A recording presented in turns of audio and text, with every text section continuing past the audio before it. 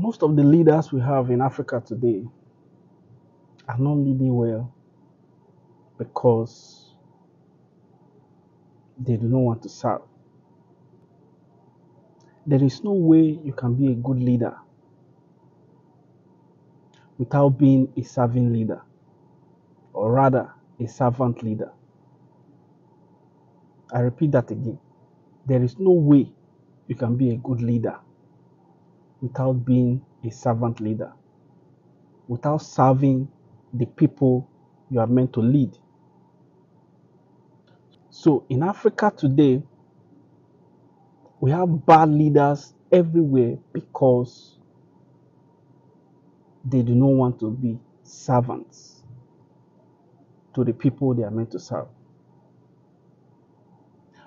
Look at the example of what Jesus did in the Bible. I'm going to read. Third, you know, the book of John, chapter 13. I'll read from verse 13 to 14. John chapter 13, from 13 to 14. It says, Ye call me Master and Lord, and ye say well, for so I am.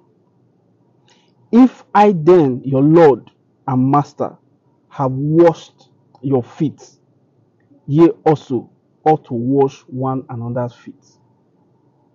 As Jesus Christ, as as as as as as powerful as he was here on earth, while he was on earth, with the kind of crowd following him and the number of disciples that he had, he showed an example of how a leader should behave.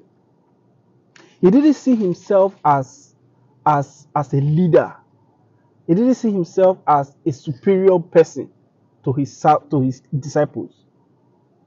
Jesus stooped so low to the point of washing his disciples' feet.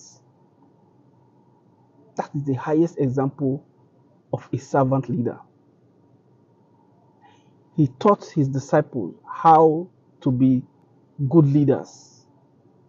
He said, If I have been able to wash your feet, you should be also, also should be able to do it to others. So for you to be a good leader, you must learn to serve the people you are meant to lead. It doesn't take anything away from you. It doesn't reduce you. It will make you a better person. It will maybe make you a leader that is well respected, a leader that that that that that that, that know how to carry his people along. So in Africa today, we have bad, a lot of bad leaders because of their inability to be servant leader, because of their inability to serve. You cannot carry a whole country along without putting yourself in the shoes of the poor masses. That is the major problem of Nigeria today, or the major problem of Africa today. Our leaders don't want to serve.